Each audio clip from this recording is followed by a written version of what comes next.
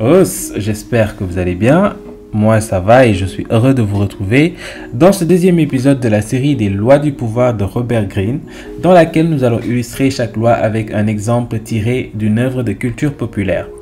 Alors, dans cette vidéo, nous allons nous intéresser à la loi numéro 2, qui est Ne vous fiez pas à vos amis, utilisez vos ennemis.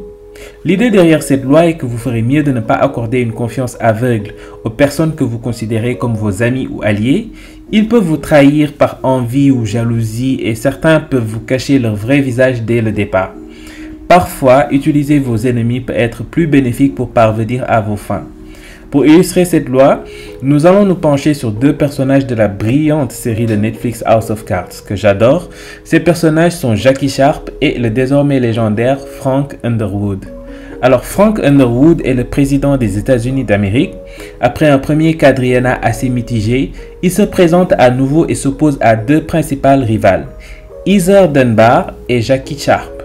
Les sondages désignent Heather et Frank comme grands favoris au coude à coude ce qui fait de Jackie celle qui peut faire pencher la balance.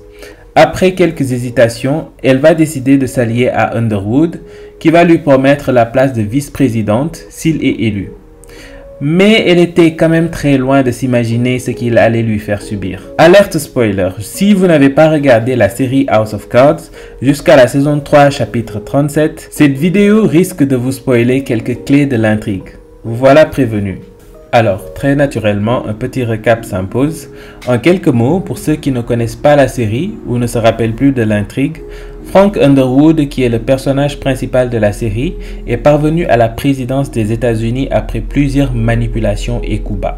Les événements dont nous allons parler se déroulent lors de la campagne présidentielle durant laquelle Frank va se présenter pour un deuxième mandat. Heather Dunbar, une autre candidate à la présidentielle, représente la plus grande menace pour Frank car ils sont à égalité dans les sondages. Jackie Sharp, qui est en troisième position, loin derrière ces deux-là, n'était pas vraiment intéressée de se présenter comme candidat au départ. En tout cas, elle sait que ses chances sont assez minces. Elle le fera finalement par stratégie, suite à une suggestion de Frank. Frank voulait former une alliance avec Jackie, car il espérait diviser les électeurs femmes ou féministes que Dunbar aurait pu avoir. En effet, Jackie défend ardemment le droit des femmes et aussi l'égalité homme-femme. Ayant servi pour l'armée américaine, elle sait ce que c'est d'être la seule femme dans une pièce et de devoir s'imposer. Dunbar, en revanche, n'a jamais soutenu substantiellement cette cause à travers ses actions ou son discours. Le plan était que Jackie se retire de la course au moment venu pour octroyer son soutien à Frank. En contrepartie, elle serait nommée vice-présidente si Frank est élu. Jackie, à l'inverse de Dunbar, est célibataire et n'a jamais eu d'enfant. Pour augmenter ses chances, Frank aura même l'idée qu'elle se marie à un certain Alan Cook, ce qui fait d'elle la belle-mère de ses enfants. Frank prévoyait d'attaquer Dunbar sur trois principaux axes. Son manque d'expérience, le fait qu'elle soit née avec une cuillère d'argent dans la bouche et donc privilégiée, et sur son manque de soutien à la cause de l'égalité homme-femme. Jackie était la personne parfaite pour attaquer Dunbar sur tous ces trois points. Frank lui propose donc de jouer le pitbull lors d'un débat électoral les opposant tous les trois.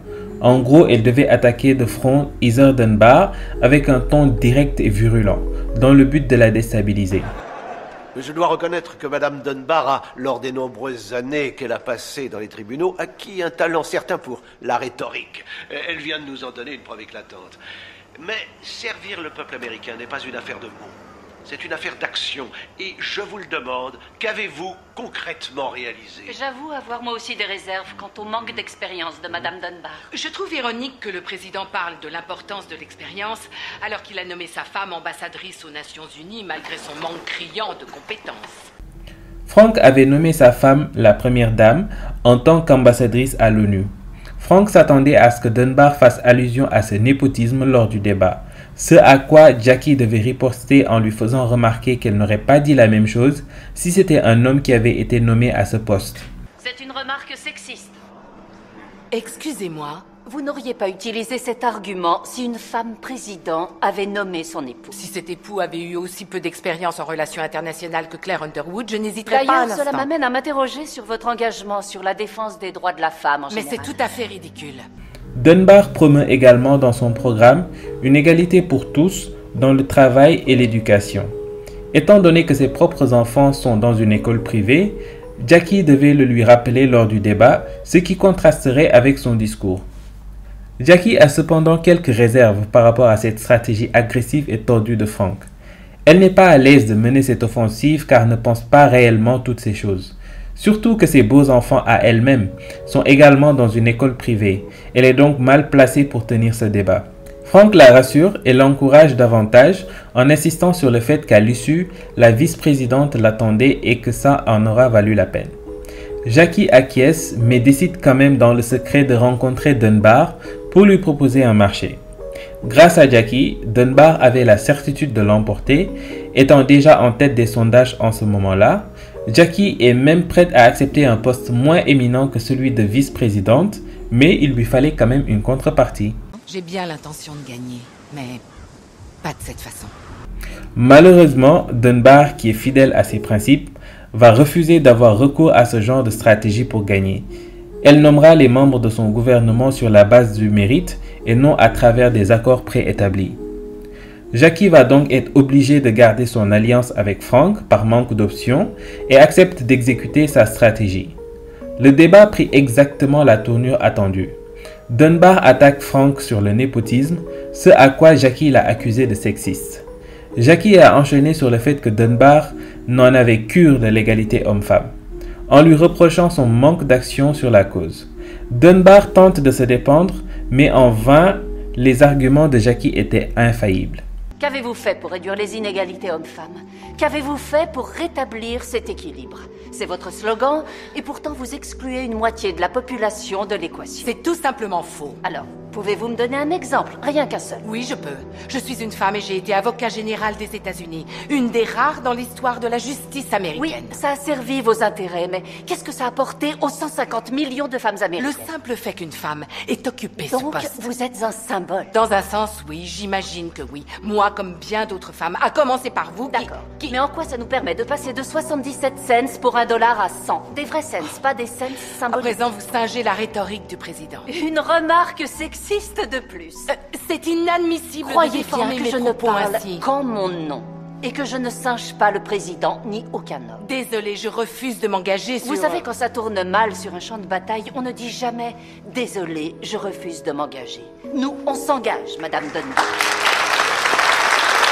Et vous devez accepter, comme un fait avéré, que le sort des femmes est loin d'être une de vos préoccupations premières. John, vous devriez intervenir. Vient alors le moment où Jackie attaque Dunbar sur le fait qu'elle envoie ses enfants dans une école privée alors qu'elle prétend défendre l'égalité sur l'éducation pour tous. Dunbar souligne le geste ignoble de son opposante sur un sujet aussi sensible et personnel que les enfants. Jackie renchérit, mais visiblement, elle-même est mal à l'aise. Donc, veut rétablir l'équilibre. Elle veut réparer un système défaillant, mais elle envoie ses propres enfants dans une école privée, grâce à l'argent qu'elle n'a pas gagné, mais dont elle a hérité. Vous voulez que vos enfants aient une longueur d'avance sur tous les autres? C'est ça, rétablir l'équilibre? Madame Sharp, si j'étais un homme, vous en seriez-vous prise à mes enfants? Seriez-vous en train d'essayer de me faire passer pour une mauvaise mère qui expédie ses enfants à l'autre bout du pays parce que vous savez que si vous parvenez à me faire passer pour une mauvaise mère, je n'aurai plus la chance de remporter la moindre élection. Ce n'est pas un combat acharné, c'est tout simplement lamentable. Contre toute attente, Que Madame Dunbar marque un point. Vous parlez d'hypocrisie, mais vous aussi, vous envoyez vos enfants dans une école privée. waouh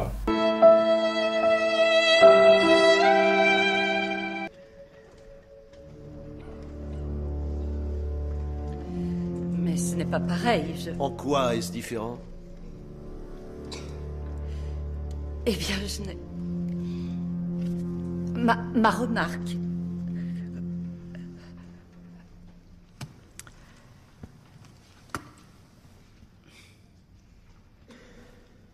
John, je crois que j'ai dit tout ce que j'avais à dire.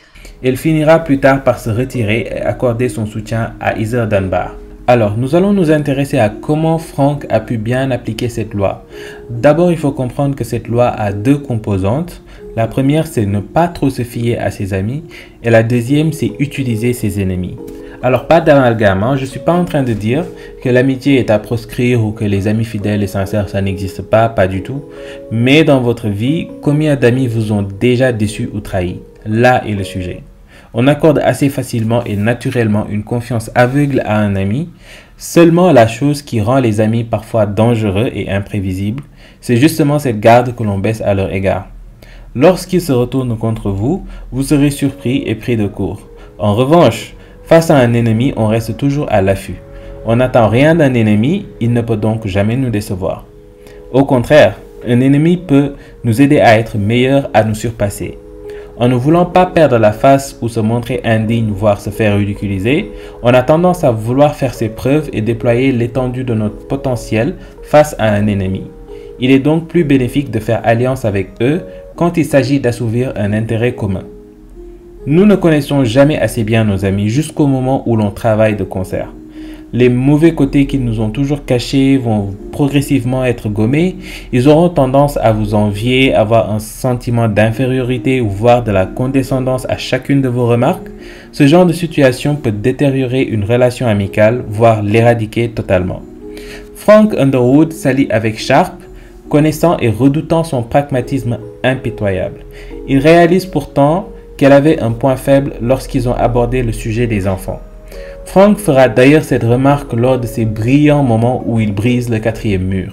Je n'ai aucun problème à me montrer agressive, mais entre le sexisme et cette histoire de scolarité, je pense que... Oh, celle de ses enfants Je n'ai pas du tout envie de les impliquer. Il y a deux choses que nous voulons que le peuple américain entende. Elle manque d'expérience et elle est née avec une cuillère d'argent dans la bouche. Mais il doit y avoir un autre moyen. Elle prétend vouloir l'égalité des chances pour tout le monde. Alors pourquoi envoie-t-elle ses enfants dans une école privée? C'est une question claire et simple qui devrait interpeller chacun de nos concitoyens et le fait que le plus gros employeur de l'Iowa soit l'école publique ne nuit pas. Alan envoie ses enfants dans une école privée. Oui, mais ce ne sont pas vos enfants. Ce sont mes beaux enfants et je passerai pour une hypocrite. C'est donc ça qui vous chagrine, en fait. Passer pour une hypocrite. Comment se peut-il qu'un sens si aigu du pragmatisme soit mis à mal par les valeurs de la famille? Sans son toubib et sa couvée boutonneuse, elle atteindrait des hauteurs astronomiques. Oui, je sais que ce mariage est mon idée. Inutile de me le rappeler. En demandant Jackie de jouer le pitbull, il détourne l'attention de Dunbar vers elle et concentre la tension entre les deux. En faisant cela, il se protège des commentaires que Dunbar aurait pu étayer quant à ses échecs lors de son quadriennat. Dunbar et Jackie sortent tous les deux écornés de ce débat, ce qui permet à Frank d'être le grand favori du débat. Frank n'a jamais baissé sa garde face à Jackie, et il avait raison, car elle a essayé de le doubler. A l'inverse, il a réussi à se servir d'elle comme bouclier et comme pitbull pour ne pas avoir à se salir les mains. Il voulait également éviter à tout prix que l'on pense que les attaques de Jackie sont biaisées par un accord avec lui, ce qui était d'ailleurs le cas. En la jetant sous le bus, il élimine ce doute et légitimise tout ce que Jackie a pu dire. La boucle est bouclée. Merci d'avoir suivi cette vidéo, j'espère qu'elle vous aura plu et surtout qu'elle vous aura appris quelque chose. J'ai hâte de vous retrouver pour de nouveaux épisodes de cette série des lois du pouvoir. En attendant, abonnez-vous et activez la cloche de notification pour être sûr que vous ne les raterez pas. N'hésitez pas non plus à liker et partager, ça fait toujours très plaisir.